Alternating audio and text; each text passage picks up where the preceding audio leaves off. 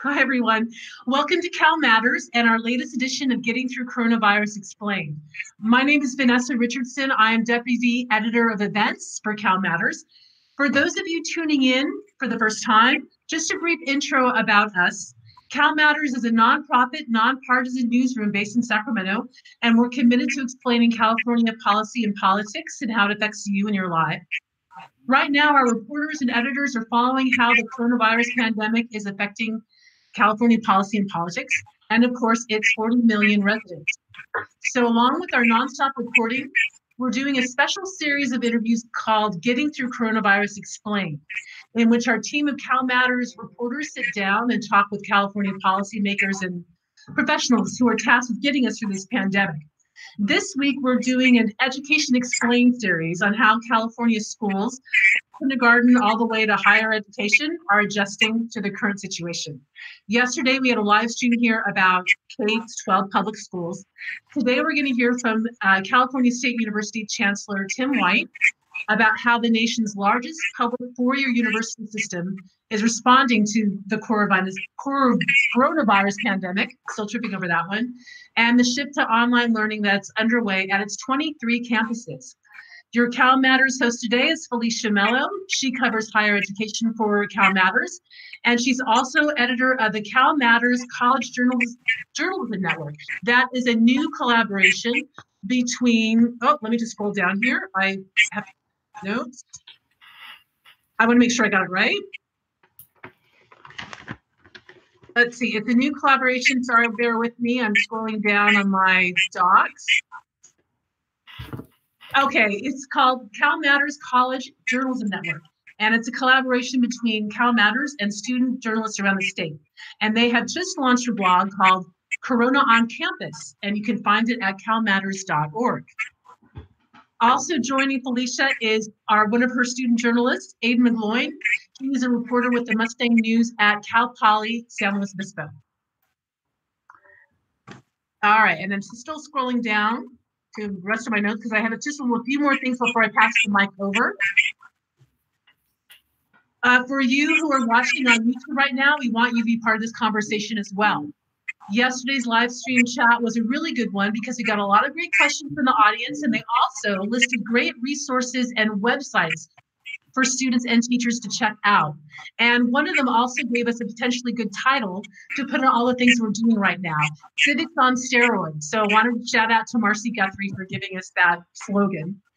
So please help us make today's conversation an interesting one and a useful one by submitting your questions to us. Just type them into the chat box on the right hand side of the YouTube screen. Felicia and Aidan will ask their questions along with yours. And before I turn it over to them, I want to list a few ways you can keep track of our reporting and events like we're doing today. Sign up for our daily newsletter, What Matters. You can subscribe to this YouTube channel and to our podcast hub at SoundCloud. We also record these for audio podcasts. And consider becoming a Cal Matters member or donor to help us keep doing our nonprofit, nonpartisan journalism and our civics on steroids, especially now during these very unsettled and unpredictable times. All the information you need to do that is on our website, calmatters.org. And with that, I'm turning the mic over to Felicia and Aidan. Thanks, Vanessa. And thank you, Chancellor, for being with us today. So California college students have really been hit with a one-two punch this spring. They're adjusting to learning online because the coronavirus has shut down in-person classes across the state. And at the same time, like the rest of us, they're coping with all of the many ways that this pandemic is disrupting their lives. Most are now living off campus, figuring out how to study in rooms that are crowded with anxious family members and housemates. Some are still living in the dorms because they don't have other options and they're doing their best to keep themselves safe. And like thousands of other Californians, some students are also losing their jobs, which they rely on to help pay for their education. Of the state's some 3 million college students, more than 480,000 attend California State University. And CSU faculty are also adapting to teaching online, many for the first time. Chancellor White, you've postponed your retirement to steer the university through this crisis. What are the major things CSU has accomplished so far in responding to this pandemic? And what's the biggest challenge that you're dealing with right now? Well, thank you. Yes, I did I did uh, suspend my uh, retirement. I, in, in, a lighthearted moment, say I failed retirement before I even started it this time around. Um, but you know, when I decided to step down, it was things were going very well, and obviously the this global pandemic of historic proportions, uh, the, really a global disaster, has changed that. And so I'm, I and others have decided to continue in our leadership roles. Presidents of the East Bay campus in Northridge, Leroy Morishita and Dianne Harrison, have also agreed to stay in the in the leadership seat for six months beyond when they too were planning to retire.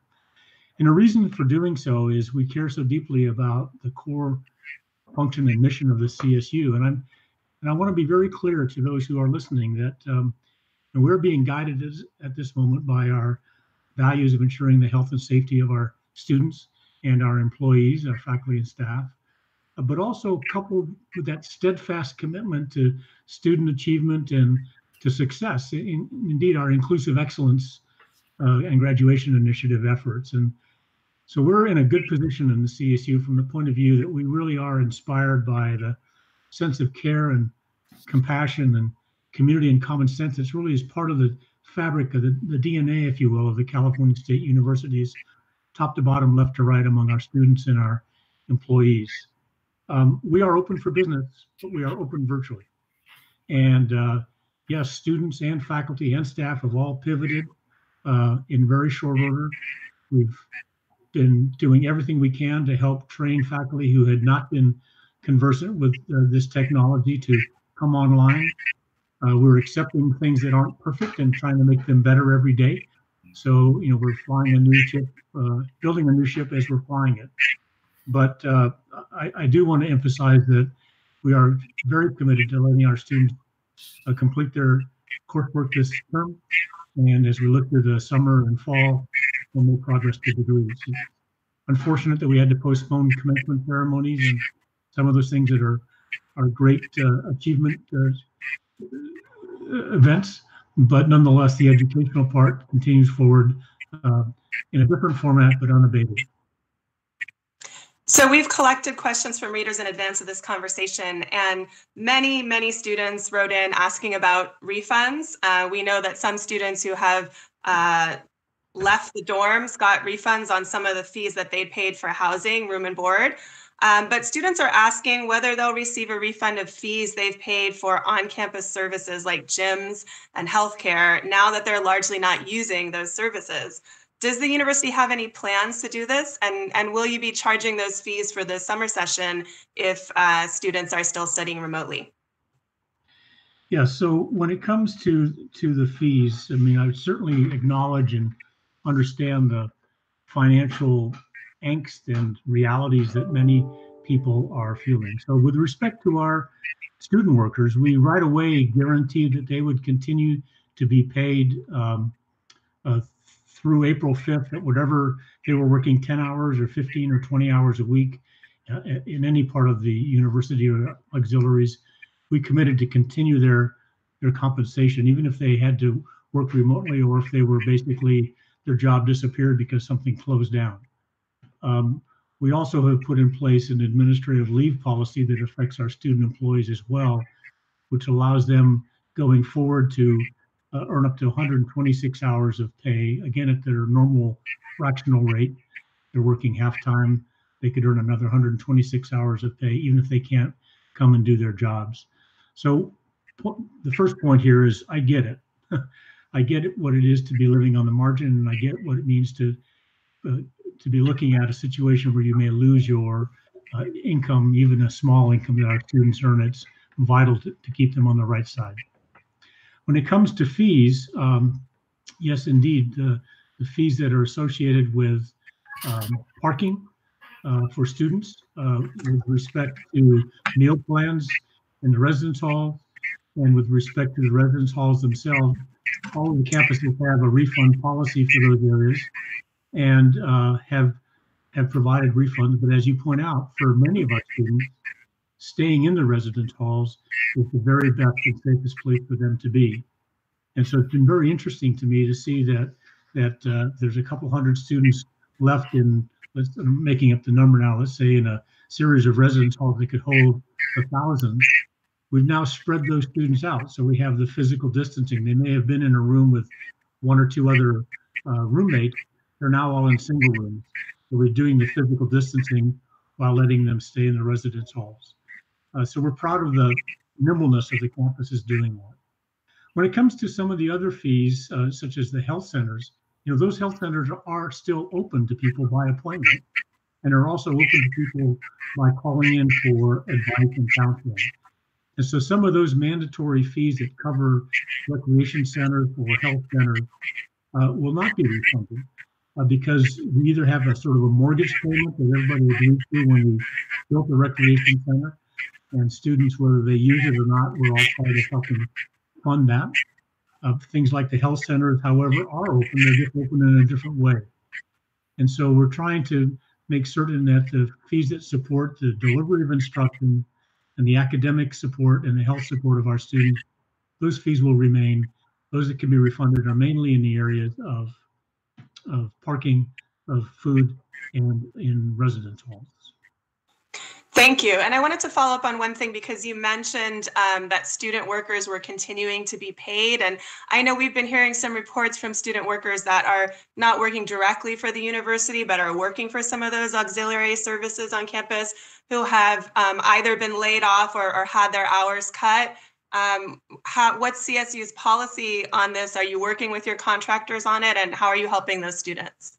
Yeah, this is a really difficult issue, to be very honest. Um, you know, we cannot use state of California funds to pay the salary of a student who is employed by an auxiliary uh, enterprise uh, on a campus. Some of those auxiliaries have some degree of reserves and are able to keep people on the payroll, both student employees as well as full-time employees. But others uh, are revenue dependent, such as a, a, a store, for example, that sells the university's brandware. Long Beach State has here in Long Beach a store, and there's been 23 employees there, uh, full-time employees, and over 600 student workers, because that store is closed. There's no revenue to support them. So the harshness is for the auxiliaries is there is a different capability to maintain employees on the payroll. Now, those that lose those jobs will be eligible for um, unemployment insurance through the state of California. But it is important to notice that this CARES Act, that is still murky with respect to its details, has some provisions in there which our Office of General Counsel has been working 24 7 to try and figure out, where it may very well be the case that we can get uh, resources out of the CARES Act that can come to these nonprofit auxiliaries and enable the support, including payroll, of individuals in those auxiliaries. Now, the devil's going to be in the details. It at first appears to be that this would be a loan, uh, but at the end of the day, if you, as we're analyzing the fine print, it means that as long as people don't lose their job, that loan gets forgiven. It really becomes a grant, and that's going to be true for the smaller uh, auxiliaries with less than perhaps 500 employees. Whereas for the larger auxiliaries, if they have more than 500 employees, there may very well be a loan availability, but that would ultimately have to be paid back. And so here's a wonderful example of how our attorneys and our business and finance people, with the eye of being committed to our students and our employees, are turning every stone to find places that have revenues generated to be able to support their their their positions and their uh, their wages and maintain their benefits during this otherwise disastrous moment in time. Um, so that's a work in progress. We'll have more details as as the federal government. They've had a couple of webinars and they've turned out to be uh, self-congratulatory webinars rather than helpful webinars about how this is actually going to work. Uh, there are some national bodies who've been looking at the CARES Act, uh, the uh, uh, ACE and uh, AASCU, two of the ones that are big for the CSU along with APLU.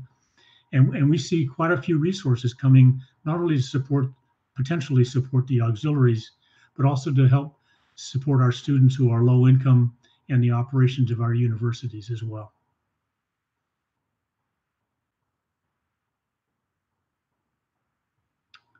Felicia, I lost you. You went uh, mute.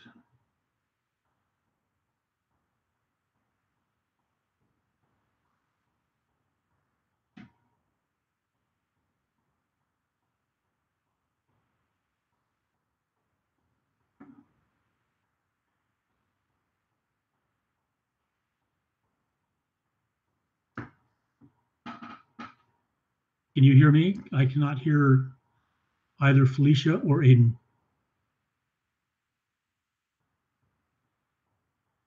I have a question from uh, Virginia Durovich, who's a professor from Dominguez Hills. I teach a class that meets for three hours once a week. I can't just make that into a three hour online class. What does the educational research show about best practices for online classes? Yeah, it's a really wonderful question. And, and in some respects, you know, uh, if you have a three hour face to face moment and the class has some lecture and some discussion and some demonstrations, and I'm making that up because I don't know specifically what the, the discipline is that she teaches. Uh, when you use technology, uh, sometimes then with the chat box, it doesn't take you 30 minutes to have a discussion. It only takes three or four or five minutes to have that discussion because people can be asking and answering side conversations during the course of the lecture. So I think part of this is the flexibility that we all have to have is, you know, contact hours. How do we define them going forward in this virtually assisted world compared to the traditional seat time world? And I think that's a work in progress. I, I think the best practice shows, however, that any engagement uh, and the ability to interact with students, to answer questions, and to appreciate their difficulties, both academically as well as personally, that sense of caring, that empathy, that compassion goes a long ways in making a very remarkable um, learning environment.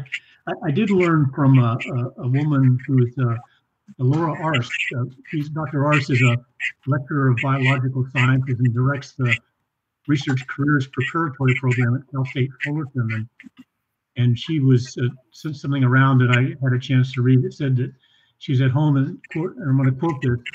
I moved my furniture around to accommodate a workspace and I just went live. I decided I would allow myself not to be perfect. And that's a really important point here. Let's let's be perfect on our intent, but maybe not perfect on our execution because we'll figure this stuff out. Being good but not perfect is hard for a A-type personality, according to Dr. Arst, which most faculty are. But we care, and we have lots of knowledge to give to our students. And I think that's the thing to take is a deep breath. Don't worry about being perfect.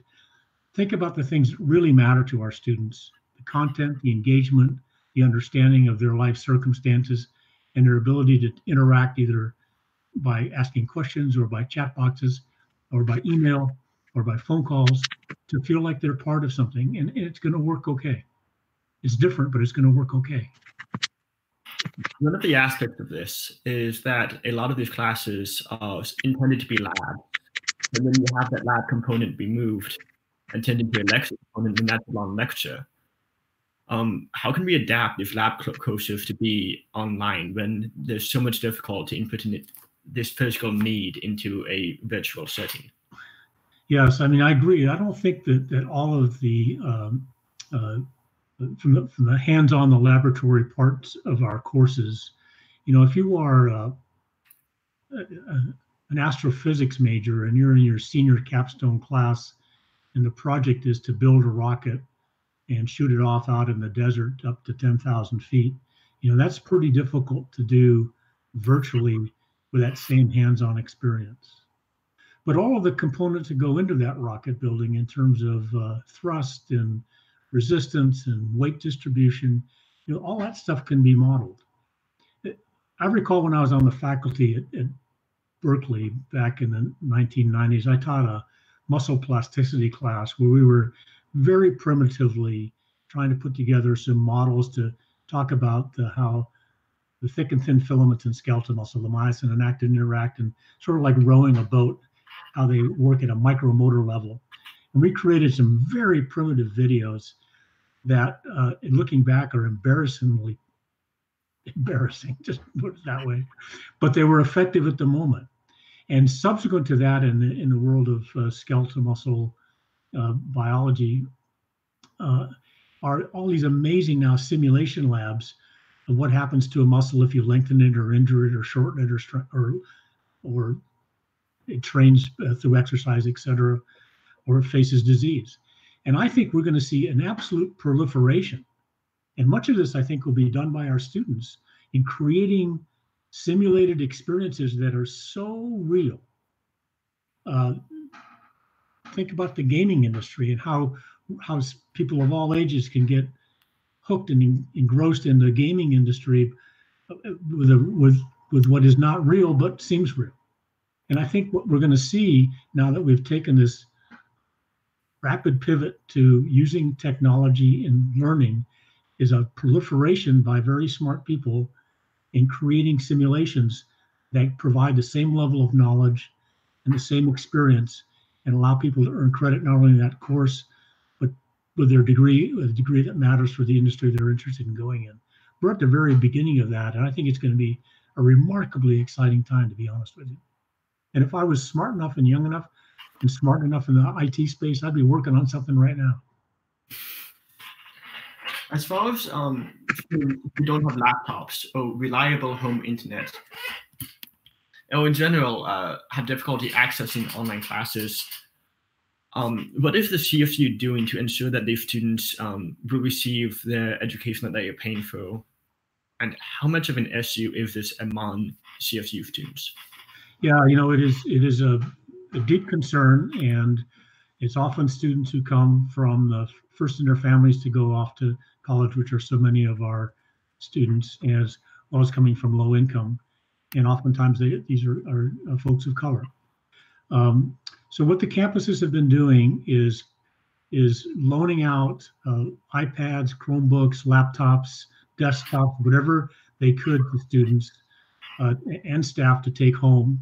One campus uh, actually gave all the uh, laptops to staff to be able to work remotely, and then realized they have a whole bunch of desktops, but and the students can't use the desktops. So now they're asking staff to bring the laptops back. They get sanitized, and then the staff takes the desktop home, and the student gets the laptop. Uh, some campuses were seeing this company coming and ordered several hundred new uh, devices and uh, has made those available. They've been loaning out hotspots. Uh, we had to close the computer labs. or some campuses where there was a common space where you could come and use a uh, use an institutional computer. At first, we did the physical distancing, but soon realized that wasn't sufficient because it was creating congregations, and we have to do our piece in flattening this curve and preventing the probability of disease transmission. So this week, we at the beginning of this week, we closed all of those common spaces. But several campuses now have had the IT folks create in the parking structures or in the open lots Wi-Fi enabled areas that previously weren't Wi-Fi. So a student could come to campus in her car with some device and sit in that parking lot and fully connect, even if where they live there is no bandwidth to connect if they're living coming in from an area that is low in bandwidth. So it's these sorts of efforts. We're continuing to try and buy and distribute more of these devices. Some of the companies have made deals available to students as well. And again, I think in this CARES Act, there's going to be a lot of resources uh, that come to campuses, of which half of those resources are going to be given to low income students. And if you look at the CARES Act, uh, uh, depending on the size of the campus and depending on how many students they have that are low income is, as indexed by Pell, uh, our smallest campus will be getting about a million, 1.2 million dollars from the CARES Act, and one of our larger campuses, several are up well above 40 million dollars, maybe even 45 or 46 million dollars. Those are those are estimates, so they're not fact yet.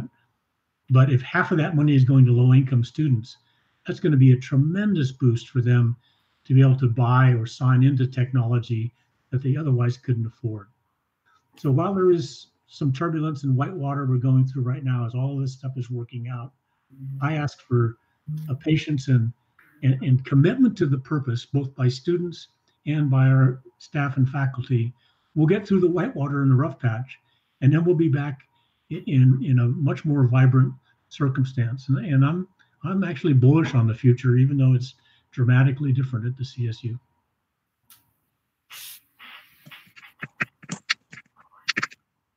Chancellor, we had a couple questions from faculty.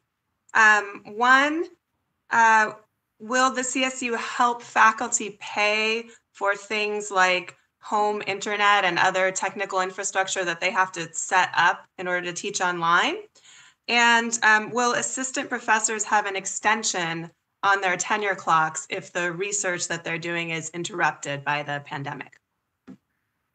Yeah, so when it comes to the uh, added costs uh, uh of, of do, working from home, I think that probably is a work in progress. Um, in the sense that if they had to go buy some instrumentation because they they couldn't have something they couldn't they have a shared office and they couldn't take it home. I think those things will get worked out in time. The idea of uh, increased use of electricity and some of the smaller costs of working from home i don't think there's going to be any refunds for that or stipends for that amount because quite frankly people are saving money on not driving their cars anymore. So you know if your electricity bill goes up uh, uh, 10 bucks a, a month uh, because you're working from home. And that's like what three gallons of gas, and I suspect we're saving there. So I, I do know that uh, the campuses will be working through for any genuine, authentic out-of-pocket costs in order to do this, uh, but that's going to be worked out much more at the local level. And then your your uh, ask me the other question again because it came in and out of my head and I lost it. Sure, about uh, tenure clocks, whether they will be paused if folks have their research interrupted by the pandemic. Yeah, we don't want to have temporary uh, uh, barriers that are coming from this circumstance to get in the way of student achievement or of professional development. And I think, you know, I know, for example, uh, in other times, if uh, a faculty member is giving birth to a child, that we would often have a year's delay in when, when the tenure clock is working as they attend to those early childhood days. So I think something similar to that will be, and we're not going to let this pandemic hurt the professional careers of people. Uh, but we haven't gotten to those level of details yet. We've been managing the day-to-day, uh, never-ending set of policy questions around around human resources, around the legal issues, around our financial issues, and the delivery of classes and student services. We will get to the issues that you just raised about tenure clocks and things of that nature in a way that's fair to people.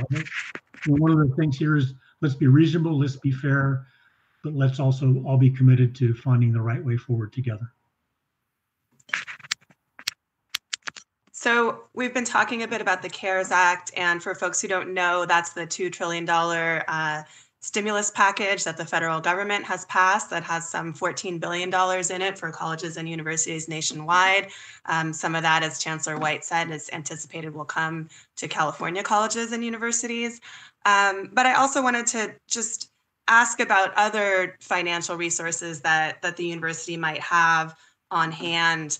Um, last year, a state audit found that the university has about $1.5 billion in reserves. I guess my question is kind of twofold. How big of a financial hit is the university taking right now? And have you had to dip into those reserves? And then, secondly, could those reserves serve as a pot of money to fund things like emergency aid for students that, that are struggling in this crisis? Yeah, it's a wonderfully important question. So uh, the uh, the CARES Act, I think, will be helpful both to our students, uh, low-income students, and also to our university operations.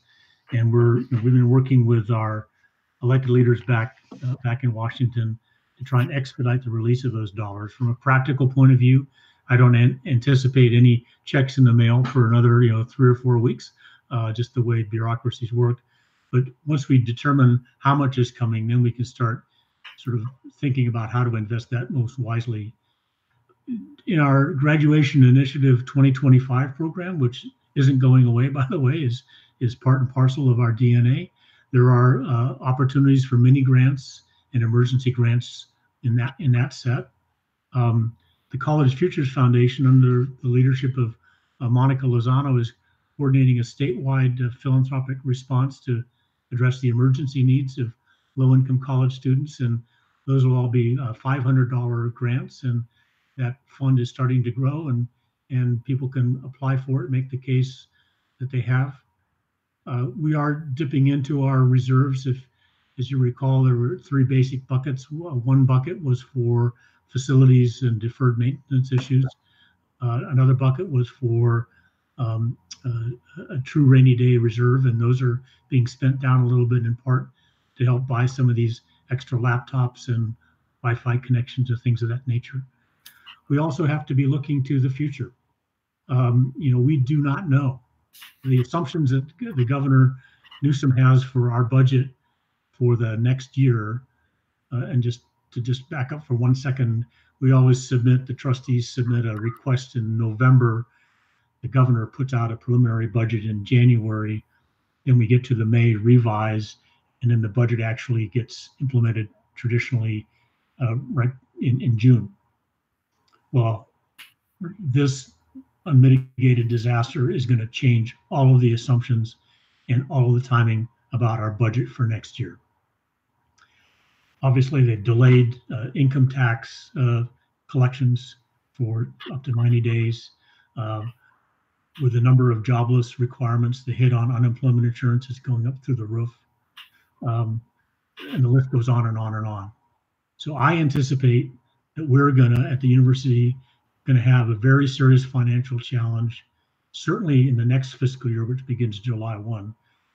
But it isn't even out of the question that we may be challenged by our general fund support during this remaining two or three months of this fiscal year.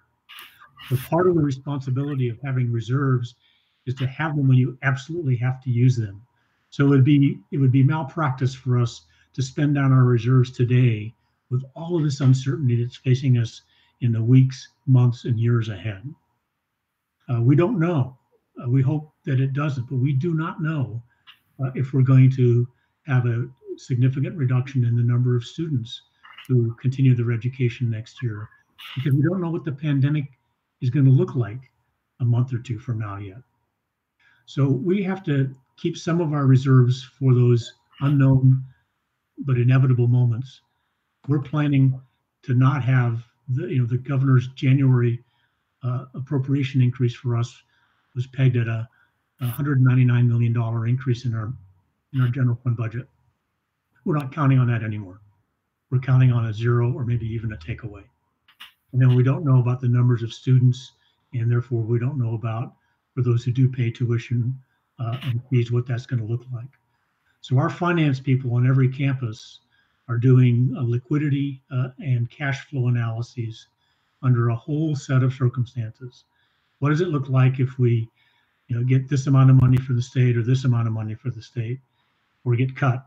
What does it look like if we lose uh, two uh, percent of our student body, or if we lose five percent or ten percent? You know, how do those scenarios look to us from the business point of view? Because we have employees to pay and benefits to pay and mortgage payments, if you will, debt service on so many of our facilities and repairs. So there's a lot going on on the business side of the university. I don't want our students or our employees to be worrying about that as I am and our staff are, but I want people to know that that level of analysis is happening as we think about what the future is going to look like and how we're going to continue to pr- provide a world-class education in a dramatically different financial environment and learning environment. Uh, we, we will succeed. It's just hard to give you specifics at this point in time. So, grading policies have also been a concern during this crisis. UC Berkeley has defaulted to pass fail grades, and there are petitions circulating on a number of campuses um, calling for more flexible grading policies. Lincoln Baum from Chico State wants to know if you plan to make some sort of policy that gives students an easier time on the grading this semester. And Ashley Kendricks at Fresno State asks, will you consider pass-fail grading for the spring 2020 semester? Yeah, so I think it's uh, four or five days ago, uh, after a consultation with uh, academic senate and student leaders and with campus leaders, we put together a, a, set of policies on how to go forward with respect to grading in this current term. And uh, uh, and so we have all of 21 of our campuses are on semesters and two campuses are on quarters.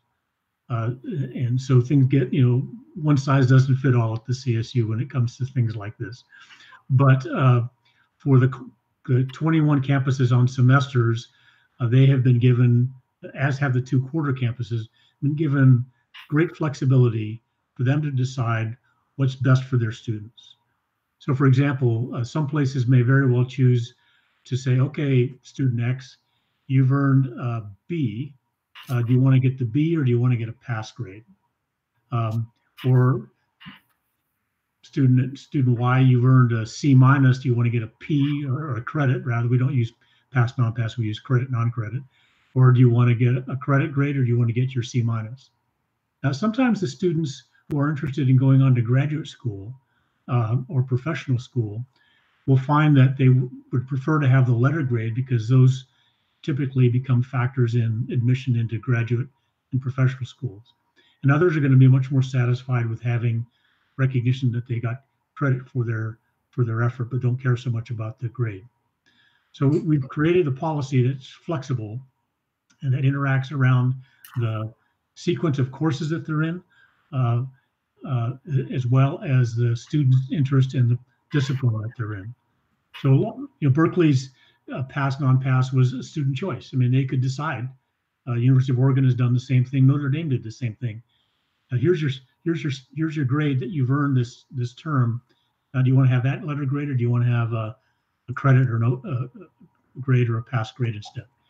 Uh, so I think that's where we're going, um, and and I'm pleased about that because I don't again want these artificial barriers to hurt students in the short term or in the long term. And then admissions. UC just announced that they are waiving SAT and ACT testing requirements for students applying for fall uh, 2021. Uh, will CSU do the same? And uh, what changes are you making to admissions, if any at all? Yeah, so we we are uh, our admissions policy is analogous but different than the UC's. Our admissions process rather. there's a one-stop, one application uh, so we process about 1.4 million applications uh, in one stop, and then for they get farmed out to the various campuses. For uh, so let's be let's be clear, uh, the SAT and the ACT are not being administered now, um, so there's no way that we're going to hold our students uh, responsible for not taking those exams because when they're not available, it's not the student's fault.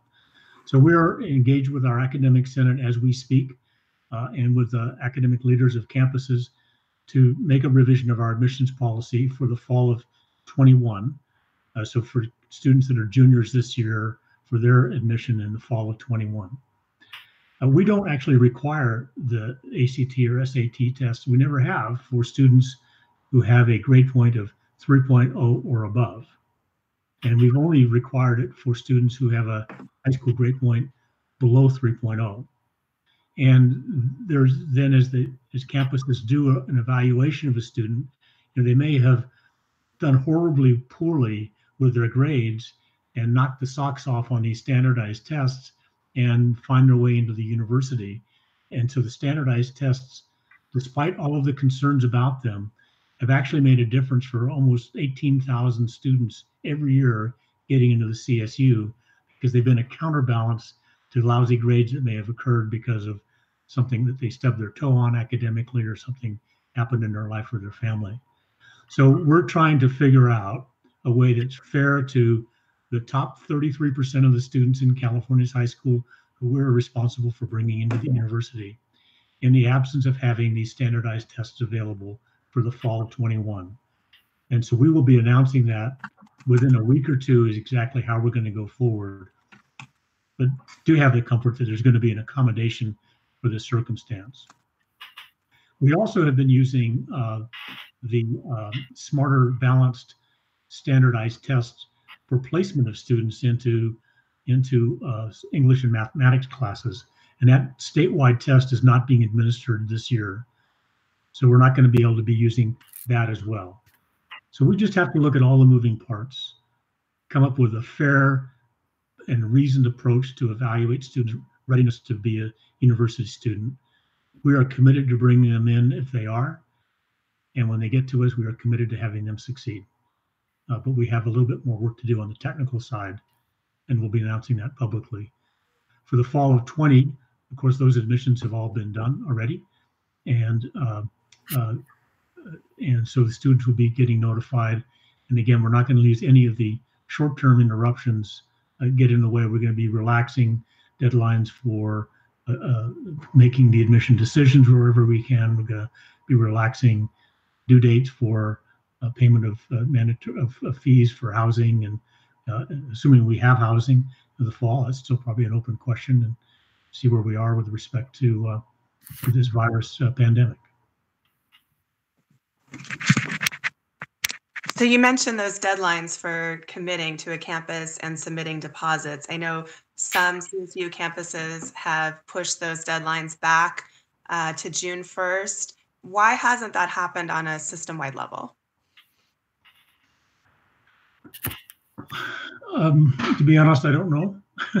it's probably one of the ones that hasn't made it to to the to my level of conversations. We've been focusing elsewhere.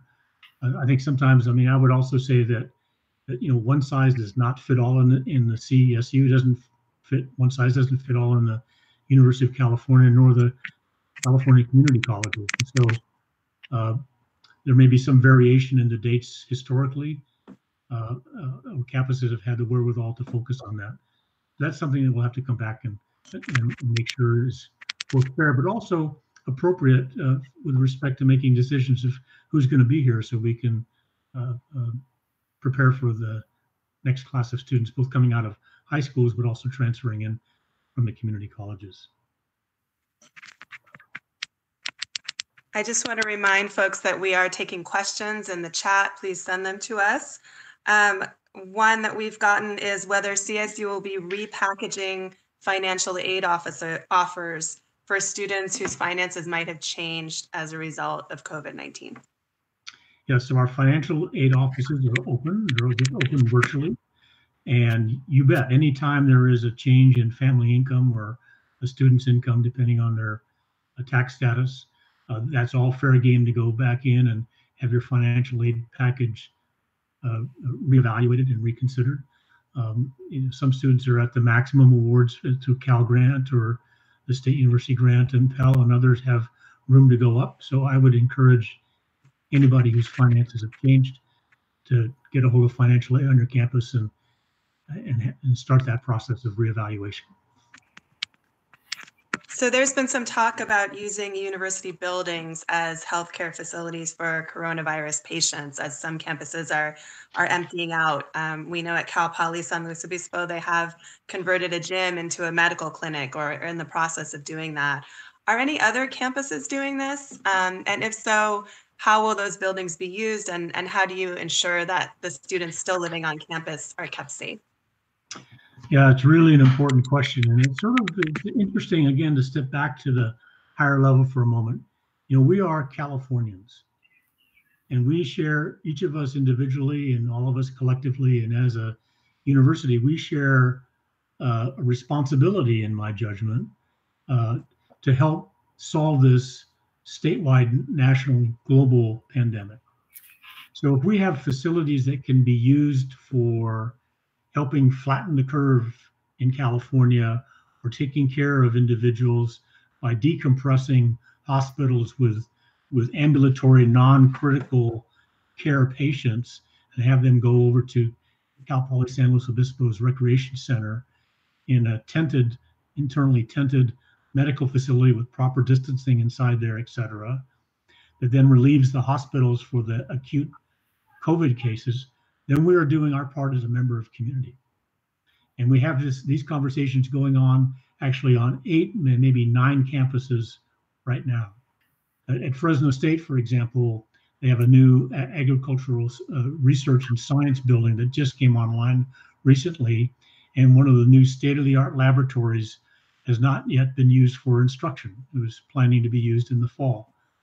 The county health department now has moved their equipment in there. It's the only COVID 19 testing facility in the Fresno region. And that was an arrangement worked out between President Castro and the local emergency health officials in Fresno.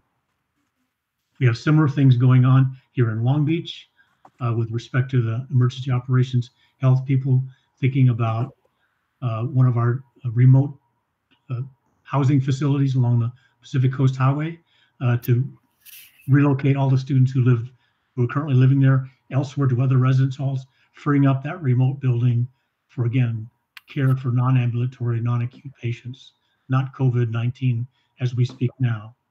Um, there are uh, other conversations going along people that have large arenas and or parking lots where people can do drive-by testing and things of that nature. So I think the, the point that I would like to make is that all of our campuses have uh, are amenable to local districts, health districts and emergency operations centers, connecting them. We have set up centrally here a um, facilities responsiveness team it's made up of uh, very, very capable four or five people. Uh, the administrative lead on that is Brad Wells, who's phenomenally good at this job. And when we get an inquiry here, we also connect with Governor Newsom's Emergency Operations Center. So they also, the state knows our inventory of potential beds in emptied out residence halls. Um, if we give them away locally, then they come out of the state inventory so we don't get clumsy as a state. This is a huge management problem. We've got it figured out. Now, embedded in your question was how do we make sure we don't put existing students at risk? We're not going to put somebody who may be a carrier or who is known to be a carrier in a residence hall room next to somebody, one of our students. And so we have to find a way to move existing students into other buildings or other floors uh, have different ways of egress and ingress into the buildings for those who may be carriers. Uh, all of those considerations go into place. But if at the end of the day we can't work something out, uh, then we're not going to be able to agree to something. But there are MOUs that have all the legal stuff and the responsibility of who's going to pay for this, who's going to pay for the alterations. And at the end of the day, when it's all said and done, um, how are we going to do that genuine deep sanitation of those facilities. So in the future, when students and employees come back into those spaces, we know that it's been void of any any of the virus uh. A lot, a lot of stuff going on. Um, committed to community, but mindful of our first commitment to our students and our employees. This next one is a uh, question from the audience. Uh, Kevin Cook uh, pointed out that in past few sessions, the California State University has had to raise tuition. Um, are you looking at that possibility? No, not at the moment. Um, certainly, you know, we we uh, we do we, every year we go through because of the uh, legislation, the law that requires called a, a, a family Working Family Transparency Act requires us every year to engage our students starting sort of in October with a conversation about if all heck breaks loose with our state appropriation, what kind of tuition increase might we consider to make up for that? So we've engaged that conversation every year since that law was passed. that law was passed in response to the recession of 2008, 2009. This year, we have started that conversation uh, in in October, but we pulled it uh, in March uh, because as we saw this uncertainty coming and the economic impact on students and families, the last thing that we wanted to do was have the worry of an increase in tuition be one other thing that they were thinking about financially. So we're not raising tuition this year, and we don't plan to raise it next year. Um, and I think we also have to have some assurance from the state of California of sustaining our operations with state appropriation. If the state's unable to do that, then that totally changes the conversation. We have to reopen that whole issue around tuition going forward, or we have to get much smaller, or we have to lower the quality of the education. And, and I think California knows that the CSU in particular is the largest engine of the workforce of the future than anybody else. And so to disinvest or to cut down our ability to teach Californians to become productive members of the of the economy is something that's not in California's best interest. So I think our mission will keep us in a place where we remain reasonably well funded, even though it'll be hard and tight uh, for a period of time. Looking forward to the fall semester, what kinds of contingency plans is the university putting in place in case we are still socially distancing then? Yeah, wonderful question. I think I would ask the, the questioner to say, what about the summer? because, you know, we, you know, we are uh, sequential beasts. And so we've been spending a lot of time, uh, how do we end up this academic year and this huge, huge pivot to using technology assisted learning uh, has been really remarkable.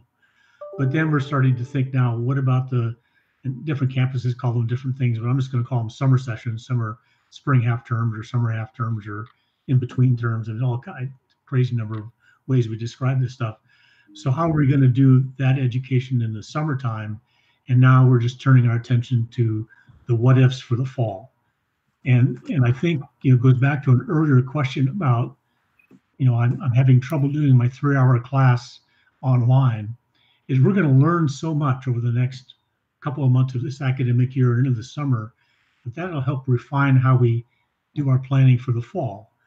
But we would be um, we would be foolish not to be considering in the fall that we're going to continue being in a largely virtual state. It'd be better to plan in that direction, it seems to me, uh, and then be able to pull back from that and to cross our fingers and hope, oh my God, I just hope this is over by fall, but I don't know what I'm going to do.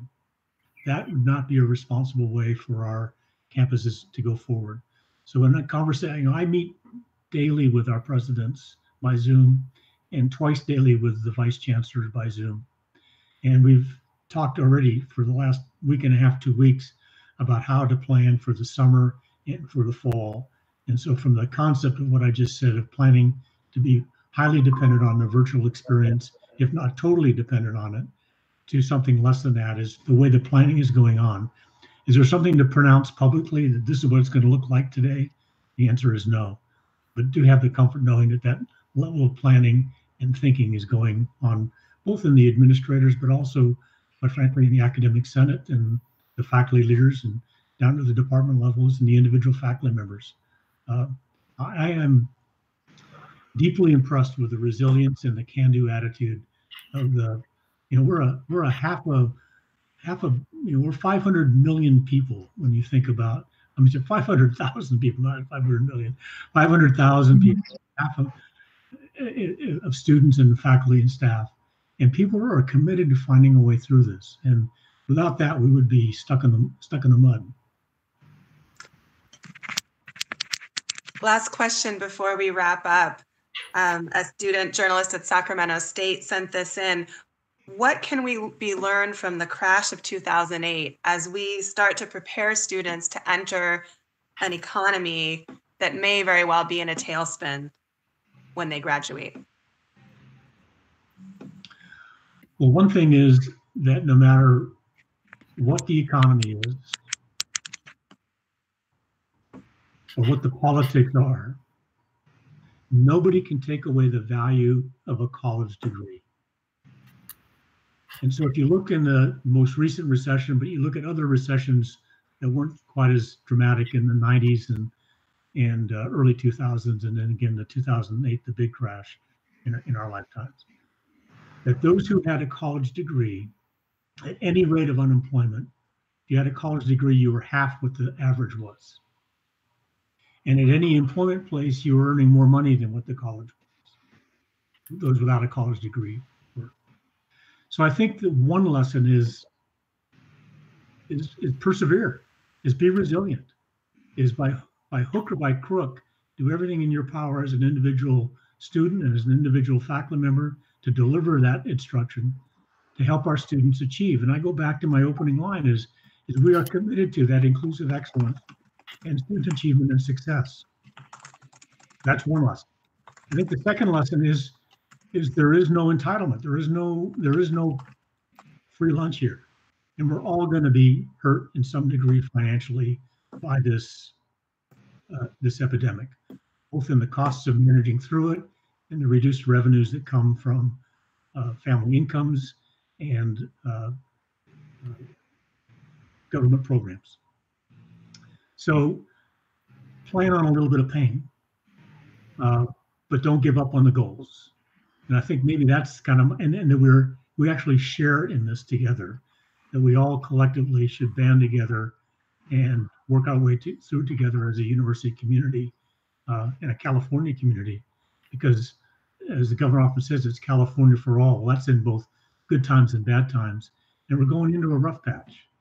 And finally, I would say, uh, unlike the recession of the past, is there are these genuine health concerns. And to be part of the solution by doing the physical distancing, so-called social distancing, but it's really physical distancing, and do your part in not transmitting this disease, especially during these next three or four weeks, as tough as it is uh, uh, being away from friends and and uh, campuses. We we bear a responsibility in doing that. So maybe that's my my three things to say, um, uh, Felicia, uh, to that really important question. Thank you. Yeah, thank you for your time today. My pleasure. And thank you, thank all three of you, Aidan, Felicia, and Chancellor White, for having that great conversation and to the audience for asking great questions. Please keep them coming in because they are useful for the reporters who'd be following up. They turn into good stories. And also, we can send them along to the Chancellor and his team to follow up on as well. So uh, if you have any other extra questions, please send them in to us. Our email is info at calmatters.org. If you missed any of this discussion, if you came in a little later, you can watch it again. You can also listen to it later. The video is going to be living here live on this YouTube channel. It's also available at calmatters.org. We are creating an audio podcast, like I said. That's also available to link to at calmatters.org. And we do have a podcast hub at soundcloud.com slash calmatters. We're reporting on all things coronavirus all around the clock. So for all our coverage about the outbreak in California, including our new college focused blog, Corona on Campus, visit calmatters.org slash coronavirus and subscribe to our newsletters at calmatters.org slash subscribe. And again, if you're able to support our nonprofit, nonpartisan civics on steroids journalism at this time, please make a donation via our homepage at calmatters.org. Those websites uh, that I gave you are the places you can stay tuned for our upcoming series, Getting Through Coronavirus Explained. We have another one coming up next week, Tuesday, this Tuesday, April 7th at 1 p.m. It'll be all about mental health. And we'll be talking with California mental experts about the strategies and tips about how to take care of your mental health and get through this pandemic in a good state of mind. In the meantime, stay strong, stay healthy, stay safe. Thank you again for joining us, and we will see you next time.